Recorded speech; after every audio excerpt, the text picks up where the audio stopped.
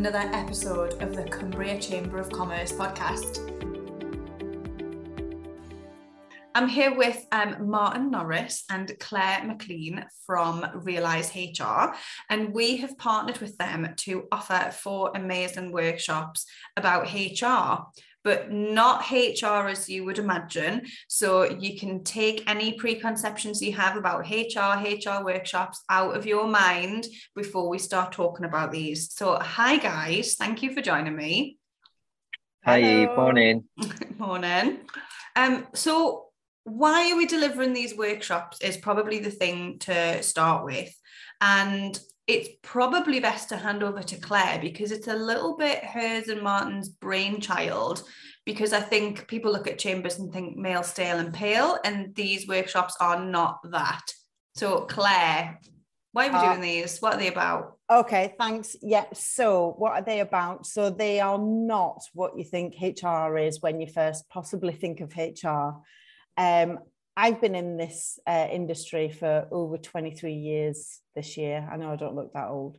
Um, and um, I have seen different sides of the coin, let's say, in terms of how companies view and work with HR. So, and I really sum it up really easily that there's a reactive side to HR when things hit the fan and then uh, there is a proactive side, which is all around making sure that you create a great place to work, a great working environment that drives high performance. And uh, these workshops are really focusing on the latter. Okay, so we understand today in today's market that we have and all these uncertainties we have around, you know, business continuity and sustainability that people are at the heart of um, every business. And we need to make sure that we're driving high performance and attracting and retaining talent. So these workshops, in a nutshell, are around making sure that your company is robust and fit, match fit to recruit and retain talent and drive high performance. Yeah, perfect because I think what's really interesting, especially I see on social media a lot now, and this could just be my algorithm, is there it seems to be this view among employees that the employers don't care and they're not willing to look at different things other than pay you know where maybe the business can't afford to pay more but they're looking at other benefits or they're looking at how their managers manage. And that's just not true is it no, it's not at all. Um, lots of great business owners and leaders uh, and managers are doing everything that they can to be able to attract and retain talent nowadays. Um, and we work with some amazing businesses that are doing really innovative stuff in that space. And I suppose where we come in is for businesses that maybe don't know what you don't know. Um, you know, I've been in this for 23 years, so I've been uh, that that's been the, the the massive part of my life being able to do that and help people do that. Uh, but not everybody knows what that means in practice. So these workshops around giving real practical tips and advice and insight as to how they can go about doing that if they don't know how to do that. Mm-hmm. So, with that in mind, what are the titles of the workshops?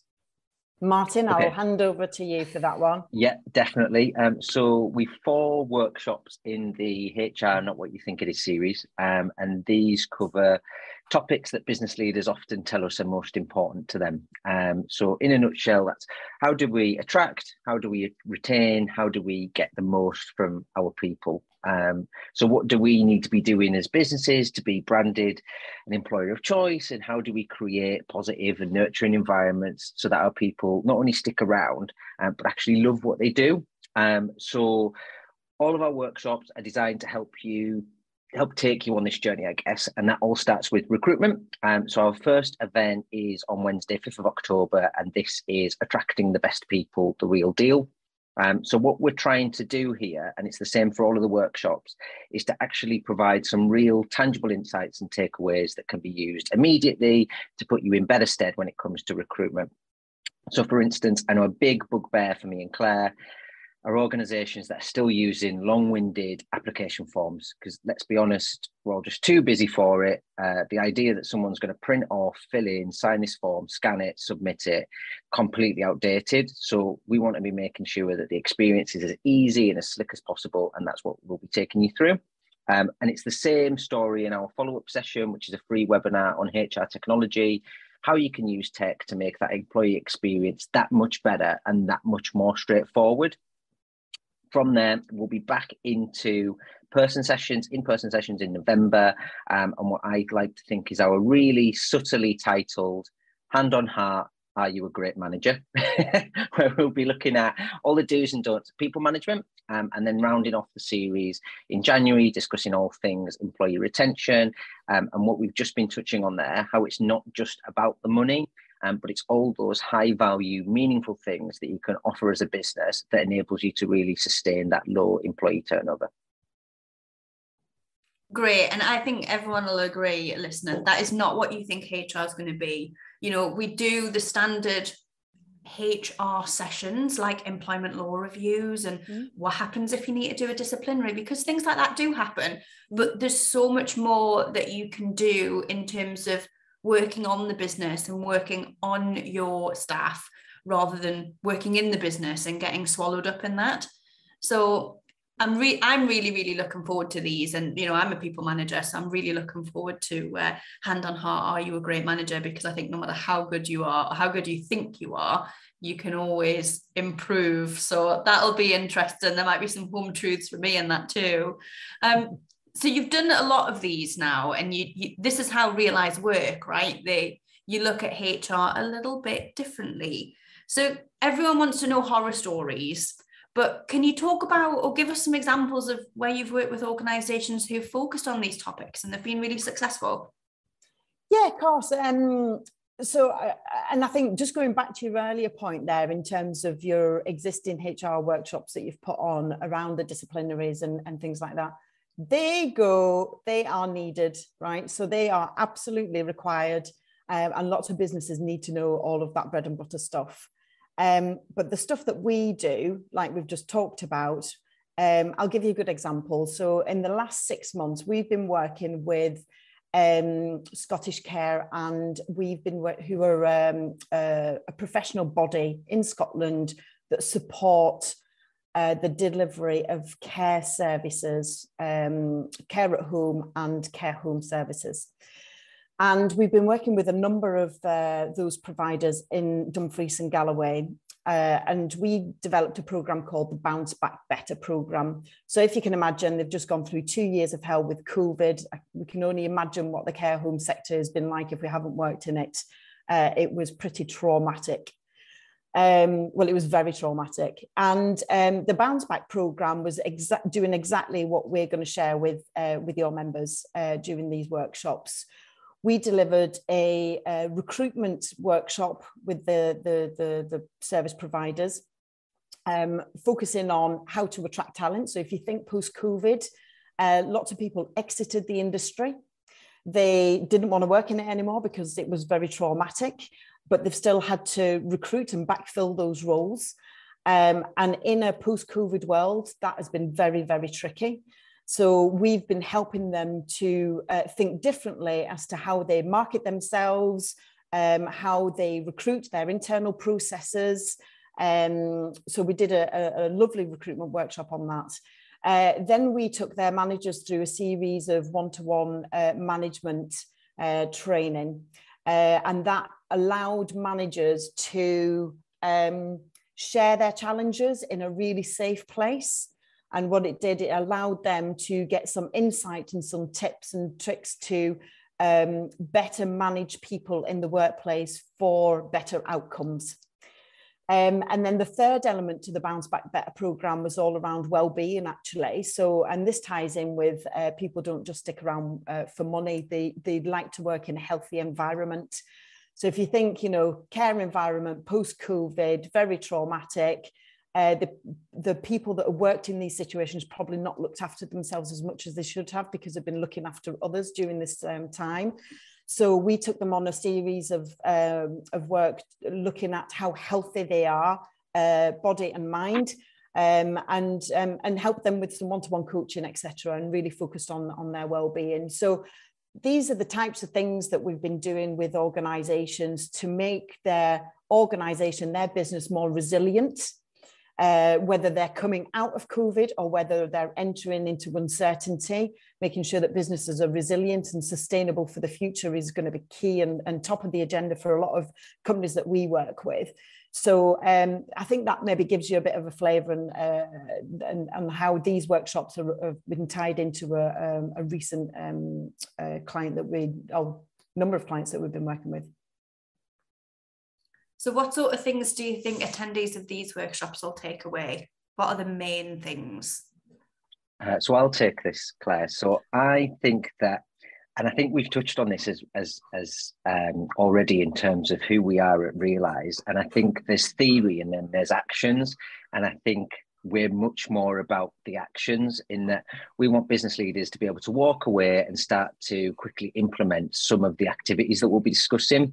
So, what we'll be looking at is, I would say, sort of the low hanging fruit low cost, no nonsense that you can really start to embed within the business um, from, from day one, really. So um, I know that we've already mentioned, for instance, about offering employees more than just an attractive salary as part of their overall package. Um, and of course, you know, money is really important and it'll always be a factor. Um, but there's so much more that we can be doing as businesses to help people feel valued. Um, and to be honest, also to make them feel human. Um, so just looking at our business at Realise, for instance, so we offer two wellbeing days in addition to annual leave, where we ask employees to go away and do something that actually makes them feel good. So that could be walking, it could be spending time with family, a spa, whatever it is, just whatever actually gives them a brain, uh, their brain a rest and actually makes them feel re-energized. Um, we also ask our staff to book in two days worth of charity or community-based activity. Um, it's important to us, obviously, as a business that we give back, but we also want our employees to feel really embedded within their community and actually be able to help out wherever sort of they see fit. Um, so we'll be touching on a whole different range of ideas and hopefully sort of inspire um, different ways of getting the best out of your people um, and actually making your organization just a nicer and better place to work. That sounds awesome. And when you talk about charity, I will warn anyone that if you stand still around Martin long enough, he will sell you a tree for the Realise HR Forest. Uh, philanthropy is strong at Realise HR.